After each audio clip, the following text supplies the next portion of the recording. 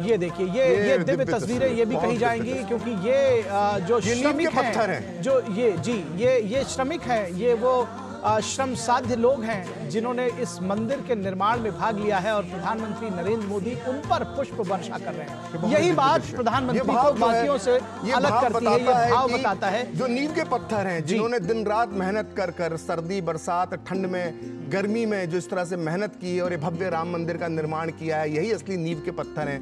और अभी ये श्रम देवता हैं हम दूरदर्शन पे भी हमने इनके कई इंटरव्यूज़ दिखाए श्रमवीरों के। और ये लोग जो बातें बताते थे कि जब अपने गाँव में लोग जाते थे और कहते थे कि हम अयोध्या में राम मंदिर का निर्माण का कार्य कर रहे हैं तो गाँव में इनके पैर लोग छूते थे। तो ये अपने आप में जो है सिर्फ़ श्रमिक नहीं है श्रमवीर है ये असली राम भक्त हैं इसीलिए श्रम देवता मेहनत कहा जा रहा राम है। मंदिर राम मंदिर खड़ा हुआ। प्रखर इनको इसीलिए श्रम देवता कहा जा रहा है। और सच में ये एक जो चलन और ये जो भाव जिसमें कहते हैं ना कि जाकी रही भावना जैसी प्रमुहूर्त देखी तिन तैसी तो इनके अंदर भी प्रधानमंत्री नरेंद्र मोदी जो भाव देखते हैं उन्होंने एक नए एक नया रूप दिया है कि अगर हम जो ये कहें कि त्रेता युग में जैसे वानर सेना थी जी। त्रेता युग में जो कार्य वानर सेना ने किया ठीक उसी तरह से ये इस युग की जो है ये ये श्रम वानर सेना है। श्रम सेना है आपने श्रम सेना तौर है। पर कहा।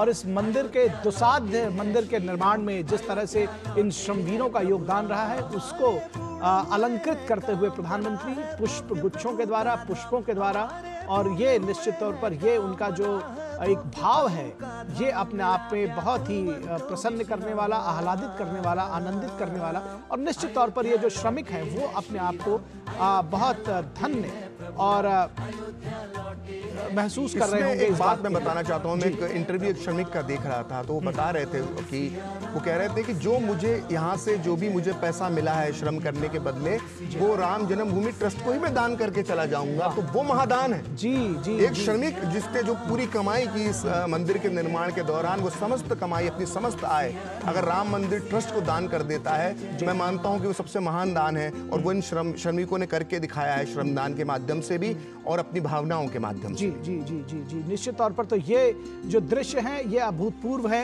ये दरअसल इसको कहा जाए कि ये दृश्य भी आँखों में बिठा लिया जाए तो गलत नहीं होगा। जिस तरह से राम की प्रतिमा जिन्होंने गढ़ी दरअसल वो वो जो इस राम के पूरे मंदिर को साकार जिन्होंने किया इस जन्मभूमि के मंदिर को कितने कम समय में और कितना भव्य दिव्य मंदिर है उस हिसाब से निश्चित तौर पर ये जो श्रमदेव हैं ये ये भी तस्वीरें मुझे लगता है कि पहले हम कभी नहीं देखते थे।